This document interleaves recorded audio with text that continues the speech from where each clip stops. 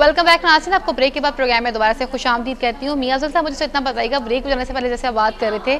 ایک عام آدمی جس نے عمران خان صاحب کو ووٹ دیا ہے، میں اس بات، میں انڈرسٹینڈ کر سکتی ہوں کہ ملک اس وقت کس کس قسم کی سچویشن کا شکار رہا، کس طرح کے معاشی بحران رہے، ہمارا خزانہ کس طرح سے خالی رہا، ہم نے ان تمام چیزوں کو بھی ساتھ لے کر چلنا ہے۔ لیکن ایک عام آدمی کا کنسرن صرف اس بات سے تھا کہ جیسے ہی میں تحریک انصاف کو ووٹ کاسٹ کروں گا، اس کے بعد دن بدن جو چینج آئے گا، وہ یہی آئے گا کہ اس کے روزگار میں بہتری آ جائے گی اس کی انکم میں اضافہ ہو جائے گا چیزیں اس کو سستی ملیں گی علاج کی سہولیات ملیں گی اس کے بچوں کو ایک اچھی تعلیم ملے گی۔ اس طرح کی تمام چیزیں جو ہیں وہ ایک عام آدمی نے اپنی وابستہ کر دی تھی عمران خان صاحب کے ساتھ۔ تو آپ کو کیا لگتا ہے کہ ان تمام چیزوں کو آگے لے کر چلنا اور ان تمام ایشوز کو کور کرنا یہ کتنا بڑا ٹاسک ہوگا؟ میں آپ حیران ہوگی کہ عام آدمی کو ماضی کی حکومت میں کوئی ریلیو نہیں ملا۔ اور اب جو دو ماہ کا یہ عرصہ گزرا اس میں بالکل اس کو کوئی ریلیو نہیں ملا۔ اس کی وجہ یہ ہوئی کہ جاتے جاتے ہوئی شباز شریف نے جتنی بیوروکریسی تھی اس میں تقریباً وہ تین تین ماہ کی تنہائی ان کو ایڈوانس دے دی۔ سارا کچھ بندر بانڈ کر دیا۔ جس طرح وہ گھر میں آ جاتا ہے فالتو میں اس کو دے دیں جناب اس کو بھی اتنی دے۔ مگر سواب دیدی اختیارات کا بے دریگ استعمال کیا گیا اور وہ پیسے دے دیے گئے۔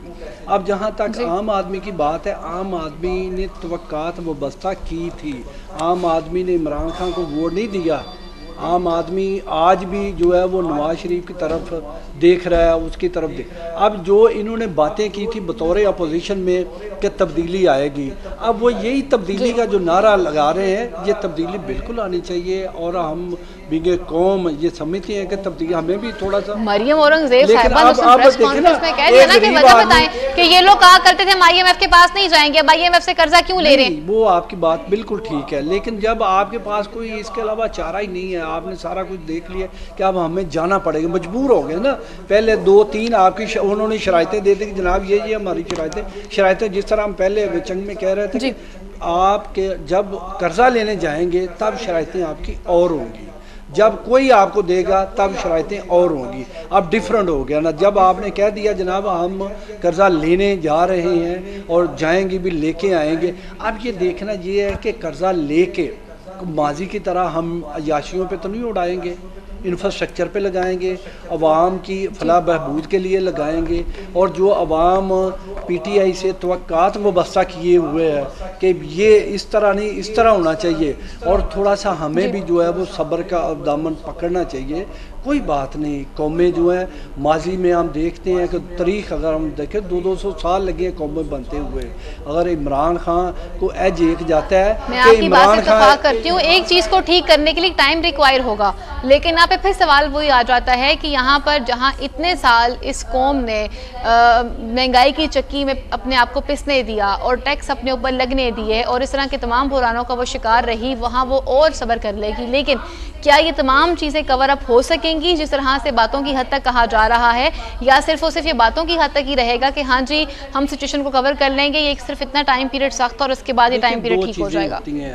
جب آپ کا سابق سی ایم پکڑا جائے گا تو عام بیوروکریٹ جی۔ عام سیاستدان کمیشن لیتے ہوئے بھی سوچے گا کہ میں کیوں لوں گا؟ مجھے جب آپ اپنے انسٹیٹیوٹ کو اداروں کو مضبوط کریں گے انڈیا نے کیا کیا؟ انڈیا نے کچھ نہیں کیا۔ میں سمجھتا ہوں انہوں نے اپنے اداروں کو مضبوط کیا ہے۔ وہاں لالو پرشاد بھی جیل میں گیا اس سمیت بہت بڑے بڑے جو نامر سے پھر بات ہے کہ سسٹم جب سب کے لیے برابر ہو جائے گا تو پھر ہر بندہ ہر بندہ کرپشن کرتے بڑھ رہے گا۔ لیکن نیاب کو جب مشرف لے کے آیا تب انتقامت طور پہ لے کے آیا کہ میں اس کو نون لیگ کو خاتمے کے لیے اس کو لے کے آؤں گا۔ ٹھیک ہو گیا جی۔ نون لیگ نے بھی اس کو اپنے مفادات کے لیے لی۔ لیکن جہاں تک ابھی دو ماہ کا رزلٹ ہے اس میں پی ٹی آئی کے بالکل کوئی مفادات نہیں۔ کل جو جوید اقبال صاحب نے وہاں پہ میٹنگ کی ابھی سابق جو نگران وزیر اعلیٰ پنجاب تھے منظور وٹو ان کے خلاف بھی انہوں نے جی۔ کہا جی اب بات یہ ہے کہ جس طرح اس دن بات ہو رہی تھی کہ احتساب سب کے لیے ہوگا اور یہ لوٹی ہوئی میں کہتا ہوں آئی ایم ایف صاحب سے تو قرضہ آپ لے لیں لیکن لوٹی ہوئی دولت کو آپ لے آئیں تو عمران خان کا یہی بہت بڑا چانس اور اس کے علاوہ اس کے علاوہ جو چوری کا جہاں سے پیسہ جاتا تھا وہ رک جائے گا یہیں پہ لگے گا۔ تو میں کہتا ہوں خوشحالی بالکل آئے گی۔ یہ اگلے ایشو کی طرف بڑھنا چاہوں گی۔ شباز شریف کی گرفتاری کی وجہ سے بات کروں گی۔ عبید یہاں پر ایک چیز کو بار بار کوٹ کیا جا رہا ہے میاں نواز شریف کی جانب سے بھی اور ان کے باقی لیگی اراکین کی جانب سے بھی کہ اس وقت جو نیب متحرک ہوئی بھی ہے، ان کے خلاف جو کیسز کھل رہے ہیں، جس طرح کی سزائیں آ رہی ہیں۔ شہباز شریف صاحب کو حراست میں لے لیا گیا ہے۔ سلمان شہباز کو آئے دن نیب کے آفس آنا پڑتا ہے اور بتانا پڑتا ہے کہ ان کے پاس ان کی آمدنی سے زائد جو اثاثہ جات ہیں وہ کہاں سے آئے اور کیسے آئے۔ ان تمام چیزوں کے پیچھے وہ کہہ رہے ہیں کہ جی یہ سیاسی جو ہے انتقام لیا جا رہا ہے۔ ہم سے اس کے پیچھے کوئی قانونی پروسیجر اس کو فالو نہیں کیا جا رہا۔ یہ صرف اور صرف ایک ذاتی انا اور ذاتی اس مفاد کو سامنے رکھ کے اپنا پرسنل گرج نکالنے کی کوشش کی جا رہی ہے۔ کیا کہیں گے آپ فیضہ اس مجھے آپ اس بات کو کمپلیٹ کرنے کے لیے تو تین چار منٹ دیجیے گا۔ جی، جی، ایک منٹ میں۔ لوں گا جو پچھلی بات آپ نے کی۔ ملیحہ لودی نے آپ کا چینل ابھی ٹی وی سکرین پہ بھی دکھایا جا رہا ہے کہ جنرل اسمبلی میں خطاب کیا اور انہوں نے اقوام عالم سے یہ ریکویسٹ کی ہے کہ جو پاکستان کا لوٹا ہوا پیسہ اور منی لانڈر کیا ہوا پیسہ جو باہر گیا ہے، اس کو واپس لانے میں آپ ہماری مدد کریں۔ تو دیکھیں، پہلے یہ حکومتیں نعرے لگاتی تھیں کہ جی ہم پیٹ پھاڑ کے نکال لیں گے، یہ کر دیں گے، وہ کر دیں گے، لیکن وہ صرف نعرے ہوتے تھے، بعد میں وہ ستر ستر کھانے کھلائے جاتے تھے۔ عمران خان کی نیت صاف ہے۔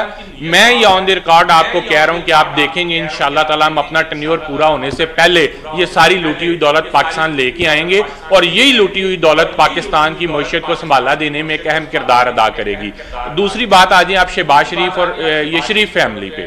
دیکھیں، یہ انہوں نے لوگوں کو ایجوکیشن سے دور اسی لیے رکھا کہ ہم جو نیریٹو کریٹ کریں گے میڈیا کے ذریعے سوشل میڈیا کے ذریعے، اس کو جو ہے وہ جلدی پک کیا جائے۔ ایک عام آدمی کو یہ بتائیں گے کہ جی جیسے پہلے ہوتا تھا سیاسی انتقام، یہ جی ہم سے سیاسی انتقام لے رہے ہیں۔ مجھے بتائیں کہ ہمیں تو ابھی آئے ہوئے دو ماہ ہوئے ہیں۔ یہ کیا میٹرو کا یہ جو سکینڈل ہے، یہ ہم نے ان کے خلاف کیس بنوایا؟ ان کی یہ جب سی ایم تھے شہباز شریف، تو ان کے خلاف انکوائری ہو رہی تھی۔ جو صاف پانی کا کیس ہے کمپنی کا یہ جو چھپن کمپنیاں انہوں نے بنائی یہ جو چھپن کمپنیاں انہوں نے بنائی تھی اور وہ عجب کرپشن کی غزب کہانی ہے یہ ہر کمپنی میں۔ یہ ان کے کانٹریکٹ دینے کا میں آپ کو طریقہ کار بتاتا ہوں۔ یہ اپنا کانٹریکٹر ایک فیک بناتے ہیں۔ اس کو یہ جب کانٹریکٹ دیتے ہیں تو کانٹریکٹ شروع ہوتا ہے فرض کرے پانچ ارب سے۔ دوسری جو کمپنیاں کانٹریکٹ لینے کے لیے بڈ دیتی ہیں تو وہ بیس پچیس ارب سے۔ یہ پانچ ارب والے کو دے کے جب وہ منصوبہ کمپلیٹ ہوتا ہے تو وہ پتا چلتا ہے کہ یہ ستر ارب پہ کمپلیٹ ہو رہا ہے۔ ان کا چھپن کمپنیوں میں سے کوئی ایک آپ کمپنی کھولیں گے، یہ آپ کو دن بدن پتا چلتا جائے گا کہ ہر کمپنی میں ایسی کرپشن کی انتہا کی گئی قومی خزانے کو دونوں ہاتھوں سے ایسا لوٹا گیا کہ اس کی مثال آپ کو کہیں نہیں ملے گی۔ تو یہ جو سیاسی انتقام کی بات ہے یہ جو لوگ بچارے کم پڑھے لکھے ہیں یہ ان کو ڈی ٹریک کرنے کی بات ہے۔ یہ بالکل قطعی طور پہ غلط بات ہے۔ نیب عمران خان کے نیچے نہیں ہے۔ پی ٹی آئی کے لیڈر بھی جو ہیں وہ نیب کے سامنے پیش ہو رہے ہیں اور وہ انکوائریاں بھگت رہے ہیں اور میں آپ کو ایک اور بات بتاؤں عمران جی بالکل عمران خان سر ہماری چلیں وہ تو دوسری پارٹی سے ہے نا ہماری اپنی پارٹی کے لیڈران جو ہیں عمران خان کا اس معاملے پہ فیوچر میں بھی انہوں نے پہلی میٹنگ میں کہا تھا کہ کرپشن پہ زیرو ٹالرنس ہوگی اگر کوئی وزیر اگر کوئی ایم پی اے کرپشن میں ملوث پایا گیا تو نہ صرف وہ اپنی ایم پی اے شپ اور وزارت سے جائے گا اس کی پارٹی کی بنیادی رکنیت بھی منسوخ کر دی جائے گی۔ اور جو پرانے کیسز ہیں جب تک وہ کلیئر نہیں ہوتے عمران خان صاحب اس میں ایک زیرو پرسنٹ بھی وہ سیاسی اثر رسوخ استعمال نہیں کریں گے۔ اس کی مثال یہ ہے کہ بنی گالا کا ان کا اپنا کیس تھا۔ ہمارے اپنے وزیر نے شہریار افریدی نے ان کو نوٹس جاری کر دیا جو کیس انہوں نے خود سپریم کورٹ میں دائر کیا تھا کہ نجائز تجاوزات بنی گالا میں ہو رہی ہیں۔ تو یہ مثال اپنے آپ سے انہوں نے قائم کی ہے۔ آپ دیکھیں گے انشاءاللہ تعالی یہ جو اپنا یہ جو اسلامی طرز حکومت انہوں نے اپنایا ہے یہ انشاءاللہ تعالی پاکستان کو ایک مضبوط سٹیبل اور انشاءاللہ اور یہ مستقبل کا پاکستان بہتر پاکستان ہوگا انشاءاللہ۔ میاں افضل صاحب جیسے عبید نے بات کی کہ یہاں پر جو کیسز تھے وہ کیسز تو بڑے پرانے تھے۔ جیسے آشانہ ہاؤسنگ سوسائٹی اگر بات کی جائے وہ کیس ہی بڑا پرانا کیس رہا۔ لیکن جس طرح سے یہ ایک رنگ دینے کی کوشش کی جا رہی ہے ہماری گرفتاریاں جو کی جا رہی ہیں یا ہمارے خلاف جو کاروائیاں کی جا رہی ہیں وہ پرسنل گرج کے بیس پہ کی جا رہی ہیں۔ اس چیز سے نون لیگ کو کتنا فائدہ ہوگا اور ضمنی الیکشن بھی قریب آنے کو ہے یہ تمام جو حربے کیے جا رہے ہیں ان حربوں سے نون لیگ کو کتنا فائدہ یا نقصان فائدہ تو کچھ بھی نہیں ہے۔ اس کا تو کرپشن میں پکڑے جگہیں اگر ہم شباز شریف کی بات کریں گے تو آشیانہ جو ہاؤسنگ سوسائٹی ہے اس میں فراڈ جو ہے وہ بڑا ٹیکنیکل طریقے سے کیا گیا ہے۔ اس میں سب سے پہلے جو ہے آپ نے بڑھ دی اکتیس سو کنال ہے جی وہ اراضی۔ جہاں پہ دو ہزار کنال پہ آپ نے پینسٹھ سو گھر بنا کے جو وہ دینے تھے اور اس کے متبادل آپ نے گیارہ سو کنال جو تھی وہ پیراگون اور جو بھی کمپنی تھی ان کو آپ نے دینے تھے۔ یہ Chaudhry Latif and son company کو جو وہ ٹینڈر دے دیا گیا۔ جب Chaudhry Latif and son company کو دے دیا گیا تو انہوں نے کہا جی شباز شریف نے وہ کمیٹی خود رن کی اور اس میں آہ چیمہ بھی تھے۔ آہ چیمہ نے اپنے سواب دیدی اختیارات بحاف آف شباز شریف استعمال کرتے ہوئے کاسا ڈیولپر کو دے دیے۔ کاسا ڈیولپر میں تین کمپنیاں تھیں جس میں بسم اللہ ڈیولپر تھے اور بسم اللہ ڈیولپر کا نائنٹی سیون پرسنٹ اس میں شیئر تھا اور اس میں ایک سپارکو کمپنی تھی جس میں ان کا دو پرسنٹ شیئر تھا اور ایک چائنی کمپنی تھی جس میں ان کا ون پرسنٹ شیئر آپ یہ دیکھیں کہ ون پرسنٹ شیئر جو ہے وہ چائنی کمپنی جہاں پہ کام کرنے آ رہی ہے ون پرسنٹ پہ تو کام نہیں کرے گی۔ ٹھیک ہے۔ لیکن یہ ایک ایسا ٹیکنیکل کام کیا گیا اور اس میں آپ نے جو ہے پیراگون ہاؤسنگ سوسائٹی کے جو مالک ہے خواجہ سعد رفیق اور ایسن جیا ایسن جیا ایک لیسکو کا واپٹا کا ایس ڈی او ہے۔ اور ایس ڈی او جو ہے وہ خربوں اربوں کا مالک کیسے بن گیا؟ یہ تو خواجہ سعد رفیق جب سولہ کو پکڑے جائیں گے وہ وہی بتائیں گے کہ یہ کیسا ہوا۔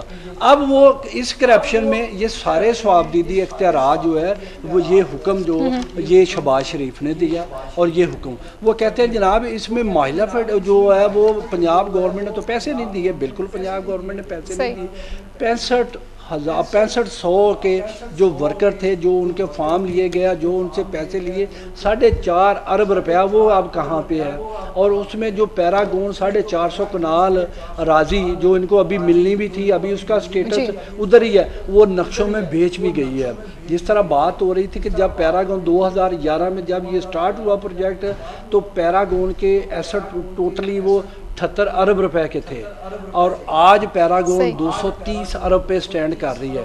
اس کی وجہ یہ ہے کہ چار سو اکتالیس کنال جو چالیس کنال وہ جو بیچ گئی ہے نقشوں میں بنا کے تو ان کا حساب بھی تو انہوں نے دینا ہے۔ اب یہ کہتے ہیں کہ جناب کیونکہ ہمیں پکڑا ہے ہمارا ٹیکنیکل فراڈ پکڑا گیا ہے اس لیے جمہوریت خطرے میں آ گئی۔ تب تو جمہوریت خطرے میں نہ آئی۔ جب نواز شریف کو ادھر پکڑ کے جا کے اڈیالہ جیل آ گئے آج اس کا باپ پکڑا گیا حمزہ شباز شریف کا۔ تو یہ آج واب ویلا مچا رہا ہے اور یہ باڈی لینگویج ہم نے دیکھا پنجاب اسمبلی کے باہر احتجاج ہوتا رہا گیٹ نواز شریف گیٹ توڑنے کی بھرپور کوشش کی گئی۔ یہ سارے متحب نمائندے ہیں جو وہاں پہ گیٹ توڑنے جو جا رہے ہیں۔ اور جب نواز شریف پکڑا گیا تب ان کی باڈی لینگویج کیا تھی؟ اور آج جب اس کے والد پکڑا گیا ہے تب اس کی باڈی لینگویج کیا ہے؟ اس کا یہی مطلب ہے کہ یہ مفادات کی جنگ ہے۔ یہ ان کی آپس کی جنگ بھی تو ہو رہی ہے وہ تو چلے چلتی ہے اب جب دوسرے صاحب چھوٹے بھائی صاحب جا رہے ہیں اچھا میاں صاحب فواد حسن فواد کا بھی بڑا ذکر آ رہا تھا کہ وعدہ معافی گواہ بن گئے لیکن اب وہ اسی طرح سے وہ پتہ نہیں اچانک سے ذکر آیا اچانک سے وہ ذکر دب کی جب بھی کیا تو یہ کہانی مطلب ریئل تھی یا پھر یہ واقعی میں ایک رومر تھا کہ وہ وعدہ معافی گواہ بنے؟ فواد میں تو اتنی کیپیسٹی نہیں ہے کہ وہ نیب کی اور کیمپ جیل میں جو ہے وہ جو ان کو چابی دی جاتی وہ سہ سکے۔ وہ بالکل وعدہ معاف گواہ بنے اور اسی اسی کے ہی کہنے پہ جو ہے یہ شباز شریف جس کو بلایا کسی اور میں ہاں صرف ایک ہے جن کو جاتا ہے شباز شریف کو کہ وہ بلایا کسی اور کیس میں تھا پکڑا کسی اور کیس میں۔ ہے لیکن تھوڑے دنوں بعد اس کی بھی پیشی تھی میرا خیال ہے اس میں تب پکڑ لیتے تو لیکن یہ تو وہی بتا سکتے ہیں کہ ان کو کیا جلدی یہ بھی ہو سکتا ہے کہ نیب یہ بھانپتی ہو کہ شباز شریف صاحب بھاگ نہ جائیں کس طرح کا کوئی ہیلا ہے؟ یہ کر رہے ہیں ٹیکنیکل طریقے سے۔ سالڈ ویسٹ جو ہے وہ ایک چائنی کمپنی کو دے دی چائنی کمپنی سے دوسرے بندے کے پاس چلے گئی اور پیچھے اس کے وہ چلے گئے۔ پیچھے وہ بیٹھے ہیں۔ یار یہاں پہ کسی کے پاس کوئی نہیں اتنا وہ کام کر سکے اور اس کے پاس اتنی پاور بل نہیں ہے۔ مسئلہ یہ تھا نا کہ جتنی اہلیت اس گھرانے کے پاس ہے اتنی اہلیت اور یہاں پہ پاکستان میں کوئی اور بندہ نہیں رکھتا ایون ان کی پارٹی میں کوئی بندہ نہیں رکھتا کہ ان تمام فرائض کو سر انجام دے جو ابھی انہوں نے شباز شریف صاحب نے جتنا اپنا عرصہ گزارا یہ سی کیٹیگری بیوروکریسی کے ساتھ گزارا ہے۔ اس کی وجہ یہ تھی کہ کوئی ان کے ساتھ کام کرنے کے لیے جو بالکل خوش ہی نہیں تھا۔ یہ صرف راشل لنگڑیال تھا آہ چیمہ تھا فواد حسن فواد سمیت اینڈ چھوٹے چھوٹے اور جو تھے۔ اچھا ایک اور مزے کی چیز۔ اب ہمیں دانیال عزیز کہیں نظر نہیں آتے ہمیں زین قادری کہیں نظر نہیں آتے بولتے ہوئے؟ بڑا سو گیا ہے وہ۔ کا تو رول ختم ہو گیا نا۔ اب تو انہوں کو اپنے کو تحفظات تھے وہ بالکل فارغ ہو گئے۔ پیٹی جی۔ آئی نون لیگ سے تو وہ فارغ ہو گئے۔ اب دانیال عزیز صاحب کی جو چودری انور صاحب ہیں ان کے والد نے وہاں پہ جو زمین پہ قبضہ کیا ہوا تھا اس کو واگزار کروایا۔ میں کہتا ہوں اس کو صرف واگزار نہ کروائیں اس کو نلام کروائیں۔ اور یہ جو اربوں خربوں روپیہ کی پراپرٹی پہ ہماری پراپرٹی پہ یہ قبضہ گروپوں نے جو قبضے کیے ہیں ان کو نلام کرا کے قومی خزانے میں یہ رقم ساری جمع کروائی جائے۔ ٹھیک ہو گیا۔ سر وقت بھی بہت کم میں گلیشیوں کی طرف بڑھنا چاہوں گی۔ عبید الرحمان ضمنی الیکشن جب وہ قریب آ چکا ہوا ہے اور حکومت کی طرف سے جس طرح کا جارحانہ رویہ رکھا جا رہا ہے اور اس ایک طرف سے نیب کی بھی کاروائیاں ہو رہی ہیں ایک طرف سے حکومت کی بھی تابہ توڑ جو ہے وہ حملے ہو رہے ہیں۔ تو آپ کو کیا لگتا ہے کہ یہ ضمنی الیکشن حکومت جو ہے وہ اس کو کس طرح سے آپ دیکھتے ہیں کہ آپ کی فیور میں جائے گا یا اپوزیشن کی فیور میں جائے گا؟ کیا سمجھتے جی ہیں اگر آپ میری ذاتی رائے پوچھیں تو چونکہ ہم پالیٹکس کرتے ہیں ہلکے کی بھی میں سیاست کرتا ہوں تو میں میں تو یہی مشورہ دیتا عمران خان کو کہ جی آپ یہ جو آپریشن اور یہ جو کرپشن کے خلاف لگے ہیں اس کو تھوڑی دیر کے لیے پینڈنگ کر دیں ضمنی الیکشن تک۔ آپ بالکل بجا فرما رہی ہیں کہ اس کا تھوڑا بہت افیکٹ آئے گا۔ کیونکہ یہ جو نیریٹو کریٹ کر رہے ہیں نا حالانکہ یہ ابھی جو ہم نے فرسٹ فیز میں ہمارے جو وزراء بھی اس کی نگرانی کر رہے ہیں آپریشن کی انہوں نے بھی یہ کوشش کی ہے کہ جنہوں نے بڑے لیول پہ اربوں روپے کی سرکاری زمین پہ قبضہ کیا ہوا ہے اس قبضے کو چھڑایا جائے غریب آدمی کو نہ ٹچ کیا جائے۔ لیکن جب یہ آپریشن ہو رہا ہوتا ہے تو جو سڑک پہ لوگ کھڑے دیکھ رہے ہوتے ہیں ان کو یہ شاید مختلف ذرائع سے یہ باور کرانے کی کوشش کی جاتی ہے کہ شاید یہ کو غریبوں کے خلاف ان کی چیزیں گرائی جا رہی ہیں۔ لیکن اگر میں اپنی رائے سے ہٹ کے ایک قومی سطح پہ بات کروں تو دیکھیں عمران خان نے کہا تھا کہ میں بغیر کسی سوچ وہ ہمیشہ کہتے رہے ہیں کہ جی میں الیکشن کا نہیں سوچتا۔ لیڈر ویسے بھی میں نے آپ کو بتایا کہ پولیٹیشن جو ہے وہ الیکشن کا سوچتا ہے، لیڈر قوم کا سوچتا ہے۔ تو وہ انہوں نے اس کو بالکل انہوں نے آپریشن کو جاری کیا ہوا ہے۔ لیکن میں یہ امید کرتا ہوں انشاءاللہ تعالی جو پورے پاکستان سے اوبرال ضمنی الیکشن کا رزلٹ آئے گا، اس میں پاکستان تحریک انصاف نے جو کچھ سیٹیں پہلے لوز بھی کی ہوئی تھیں، ان میں پہ ان میں بھی انشاءاللہ تعالی اکثریت سے پاکستان تحریک انصاف کامیابی حاصل کرے گی۔ میاں صاحب وقت بہت کم ہے مجھے بتائیے ضمنی الیکشن کو آپ کس طرح سے دیکھتے ہیں اور آنے والے ضمنی الیکشن جیسے عبید کہہ رہے ہیں کہ جی جو مرضی ہو جائے لیکن وہ پاکستان تحریک انصاف کی فیور میں جائے گا۔ گو کہ ہم نے دیکھا کہ ضمنی الیکشن ہمیشہ حکومت کی طرف ہی ہوتا ہے لیکن اب کی دفعہ پہ سچویشن تھوڑی سی ڈفرینٹ بھی ہو چکی ہوئی ہے۔ تو کیا لگتا ہے آپ کو کہ ضمنی الیکشن جو وہ کس کی فیور میں جائے گا اور حکومت کے لیے کتنا بڑا چیلنج چیلنج ہوگا تھوڑی سی یہ ہے کہ جب ضمنی الیکشن جو بھی حکومت کروانے جاتی ہے سکسٹی اور فورٹی کی ریشو ہوتی ہے۔ سکسٹی جی۔ پرسینٹ تو جو ہے وہ پی ٹی آئی کا الیکشن ہے ضمنی الیکشن حکومت پنجاب میں بھی ان کی مرکز میں بھی ان کی اور سارا کچھ سسٹم ان کے کنٹرول میں ہے۔ اور یہ جو ہے سکسٹی جی۔ اور فورٹی کی ریشو پہ جو ہے نا یہ جائے گا۔ جہاں تک عوام کی بات ہے اور بہت ساری عوام وہ ہے جہاں پہ آپ کے ضمنی الیکشن نہیں ہو رہے۔ جہاں پہ آپریشن ہو رہے ہیں وہاں پہ بعض ضلع ایسے ہیں جس کسی ایک ضلع میں بھی جس ایک آدھے ڈویژن کے ایک حلقے میں الیکشن ہو رہا ہے باقی جو ہے وہ اوور آل نہیں ہو رہا۔ اور یہ الیکشن جو ہے یہ الیکشن پی ٹی آئی کے حق میں جائے گا۔ اور بہت بہتر طریقے سے جائے کہ لاہور کی بات ہوگی تو لاہور میں خواجہ سعد رفیق اپنی سیٹ جو ہے بالکل فارغ ہو جائیں گے اس سیٹ سے۔ اور شاید حقان عباسی نہیں ہے بھی ہے کیونکہ اگر ہم بات کریں گے وہ الیکشن جو ہے نا وہ حمزہ شباز آ رہا ہے اور اندرون لاہور کا جو ہے جس کو ہم قلعہ کہتے تھے یہ لیکن قلعے میں بھی آہستہ آہستہ دراڑیں جو ہیں نا پڑھنی شروع ہو گئی ہے کہ جو جو کرپشن کا جو منبع تھا اور ان کے خلاف جب جی۔ آپ کھڑے ہو گئے ہیں تو پھر دوسرے لوگ بھی ڈر جاتے ہیں یار آپ یہ چھوڑے آپ جب حکمرانوں کو احتساب ہوگا اور جیسے جس طرح عمران خان کہتا ہے احتساب سب کا ہوگا اور اس میں کوئی بالکل کمی نہیں ہونی چاہیے احتساب شروع کیا ہے تو احتساب سب کا ہونا چاہیے۔ اور آپ کو یہ لگتا ہے کہ ضمنی الیکشن طریق انصاف کی فیور میں جائے گا۔